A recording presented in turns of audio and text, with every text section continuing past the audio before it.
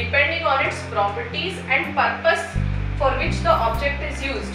So in this example, what material we chose a glass, a plastic or a stainless steel to make a glass depending on the properties. What were the properties considered? Hardness of the substance and purpose was what was the purpose of the object to drink water. So if we make a glass with a cloth, the cloth cannot hold water, all the water will drain out.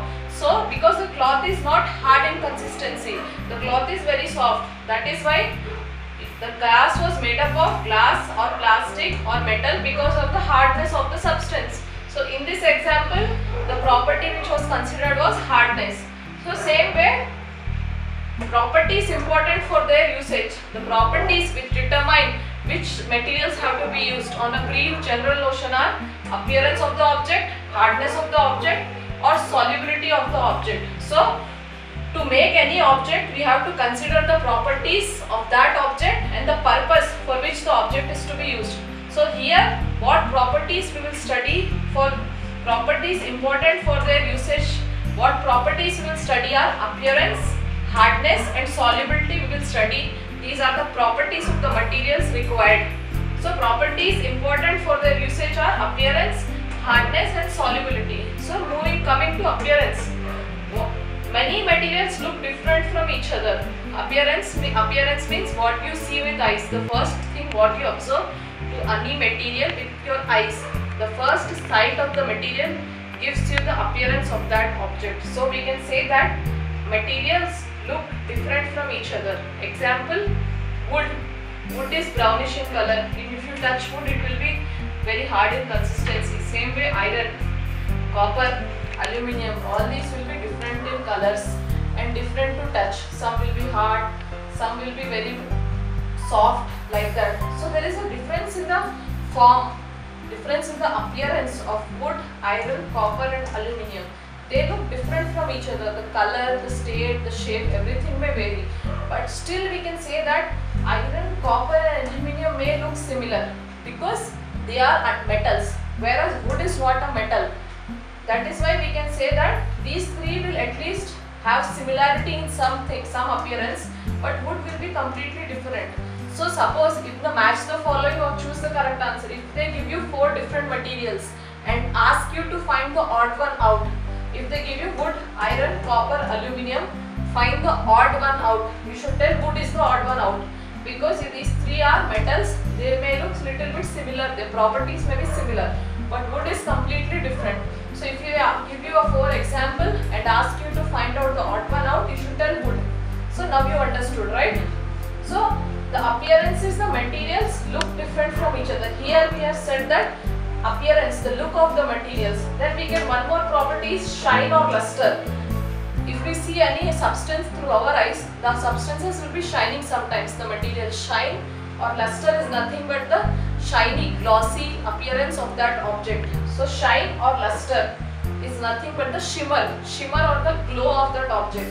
So freshly cut surfaces of some materials look shiny. If sometimes iron is being cut, if you observe in any construction site, they will be cutting iron rods for the purpose of construction of pillars like that. So when you observe a freshly cut iron rod, a surface where it was cut looks shiny. Whenever sunlight falls on it, it looks shiny. So we can say that freshly cut surface of some materials appear shiny. Example, we can say iron rods. So iron rods when they are cut on the machines, they look shiny. So and next, materials when rubbed against the sandpaper show luster. If any metal you take and rub on a sandpaper, what is sandpaper? It is a paper-like thing. It is available in yellow color and black color. It has small, small sand-like particles attached to it. It has a rough surface. So when you rub any metal onto that surface, so that metal, that layer will look shiny in appearance. Luster it will have.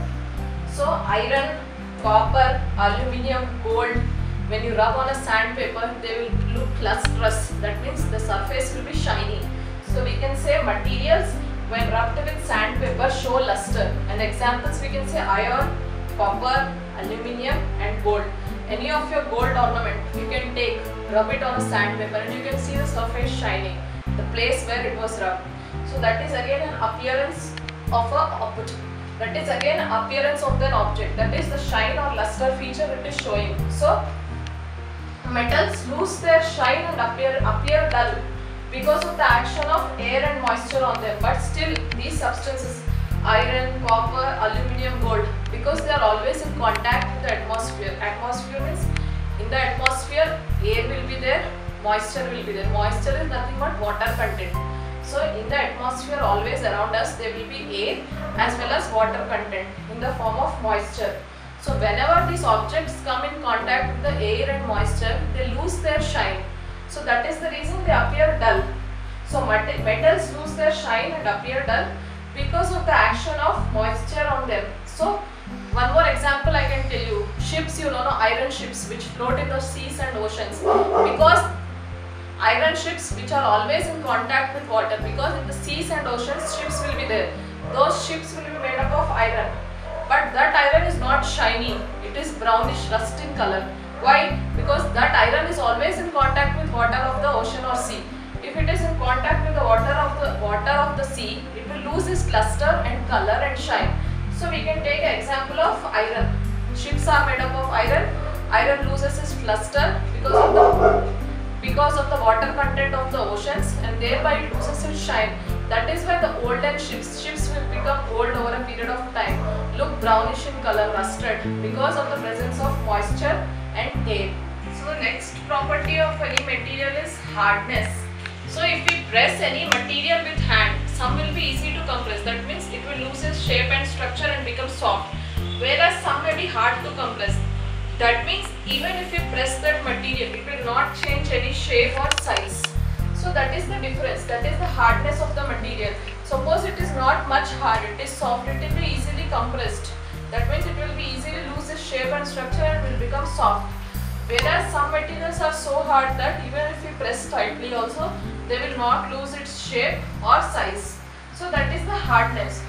Same way some materials can be scratched easily and some materials cannot be scratched. Suppose if you take your key, your bike key or your vehicle key and take a chalk piece and you start scratching, you can scratch the chalk piece, right?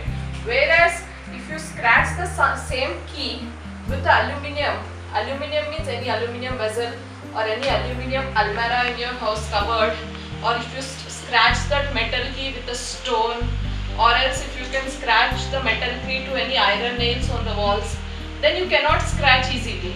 Whereas if you scratch the metal key with wood, chalk piece, then if you can scratch it on a candle, candle is made up of wax, it is soft in consistency, right? So you can easily scratch the candle. So that is how some materials can be scratched easily and some materials cannot be scratched easily. Scratch means rubbing, rubbing against each other. So scratch a metal key with aluminium If you can, can you scratch the aluminium? No. Then chalk piece. You can scratch the metal key on a chalk piece. Yes. Then on a wood? Yes. Then on stone, can you scratch the metal key? No. Then candle. Candle is soft in consistency, made up of wax. Then you can scratch a key with a candle. Then can you scratch a key with a nail? Nail means iron nails which are harder in consistency. No, right? Like that some materials can be scratched and some materials cannot be scratched. So materials, we can say that materials which can be scratched easily or compressed easily are known as soft materials. So what are the defini what is the definition of soft material? Soft is nothing but the hardness. Hardness, soft and hard are the hardness characteristics of that material. So the material which can be compressed easily or scratched easily is known as the soft material. And materials which cannot be compressed easily are called as hard materials. So basic common sense, not very tough, right? So which can be compressed or scratched easily are soft. Examples can be cotton or sponge. So those are softer in consistency, you can press them. Same way materials cannot be compressed or scratched easily are called hard. So example iron. Iron is very hard. Even if you press hardly also you cannot change the shape. Same way iron cannot be scratched easily. It is very hard in consistency. So this is about the hardness of the materials. So moving on to next property that is solubility. Solubility means able to mix or not. Soluble is nothing but the capacity of mixing with other substances.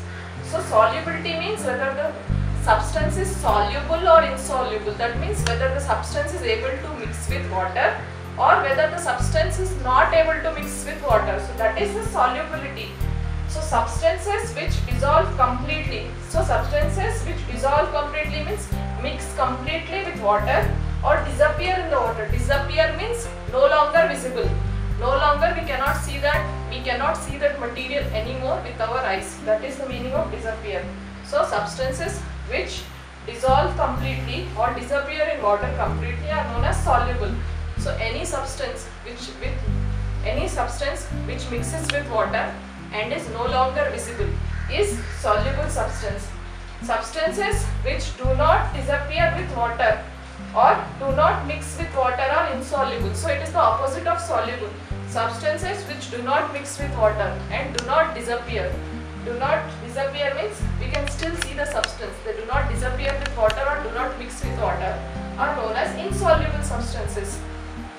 So you can take any substance in a glass of water, you can mix it or stir it. Mixing is nothing but stirring, S-T-I-R, stir it and you can observe whether that substances, whether that substance mixes in water or not. For some substances you have to keep mixing or for 5 or 10 minutes and wait for some time and observe. So if you mix salt or sugar in water while making lemon juice, it mixes and disappears with water, right? So salt and sugar are soluble substance. Then chalk powder. Chalk powder is whitish in color. So when you mix chalk powder with water, it also mixes and dissolves completely in water. Then vinegar. Vinegar is used in making Chinese specialty dishes like noodles, manchuria, etc. So vinegar also dissolves completely in water. Vinegar is a transparent liquid like water. Then lemon juice. Lemon juice also dissolves completely in water. So all these substances can be termed as soluble substances which completely mix with water and disappear with water. Whereas sawdust, what is sawdust? Suppose if any in you see in any timber depot, what is timber depot?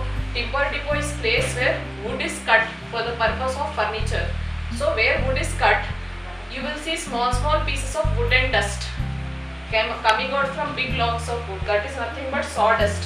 When you cut wood on a machines, you get small small pieces of wood that is nothing but sawdust. So saw is nothing but a blade like thing used for cutting wood. So when you cut wood with a saw, you get small, small small pieces of wood. That is called sawdust. So when you mix sawdust with water, it doesn't dissolve completely. Sawdust absorbs water because it is wood. Wood absorbs water. Sawdust absorbs water but doesn't dissolve with water. Then sand. If you have ever been to beaches, riverside, seaside, you see sand beds, you see sand on the surfaces. So you can say that sand doesn't, doesn't dissolve in water. Even if you take a glass of water and dissolve sand, it will go and mix easily but you can still see the sand particles. It doesn't disappear with water. So sand also doesn't dissolve in water.